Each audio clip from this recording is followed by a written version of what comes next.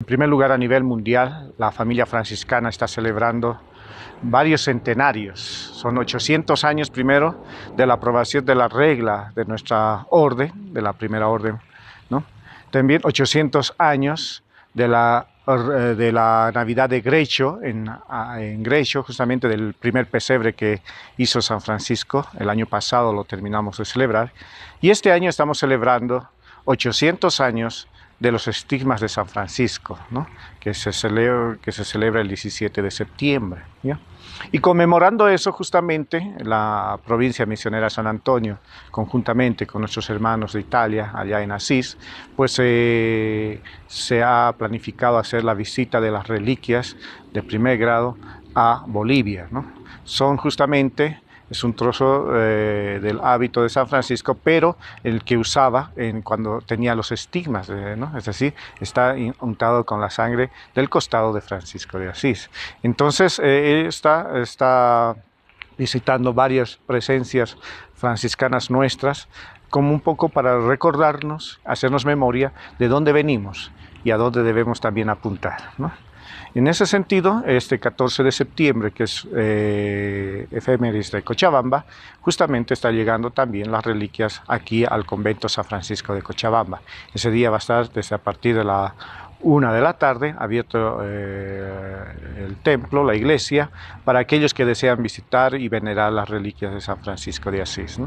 En, esa, en esa perspectiva es que seguimos todavía al próximo año y justamente en este tiempo que estamos pasando de incendios y todo, estamos también, vamos a empezar a celebrar los 800 años de la composición de San Francisco de Asís del Cántico de las Criaturas. ¿no?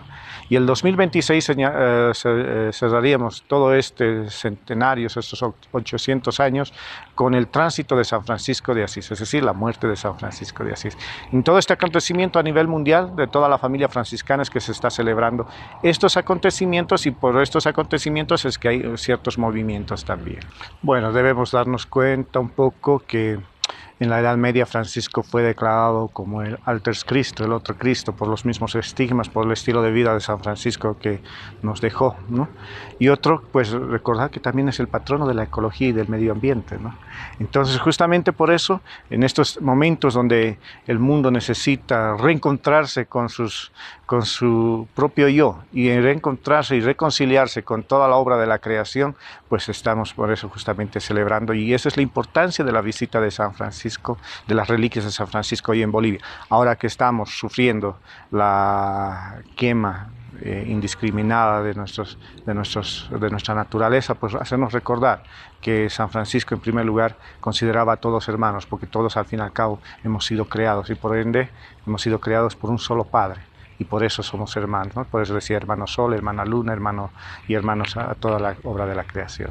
Por favor. Sí, el día sábado eh, las reliquias llegan a Cochabamba aproximadamente once y media de la mañana al aeropuerto, de ahí serán trasladados a este convento y de ahí pues, prepararemos el templo para que esté ahí y a partir de la una se abrirá la iglesia a todo el pueblo de Cochabamba para que pueda visitar. Ahí habrá momentos de reflexión, de meditación, de contemplación, para hacernos recuerdo que también nosotros somos criaturas de Dios. A partir de eso, pues habrá esas celebraciones. Y a las 7 de la noche tendremos la celebración solemne de la Santa Eucaristía, presidida por nuestro ministro provincial, nuestro superior de los franciscanos acá en Bolivia.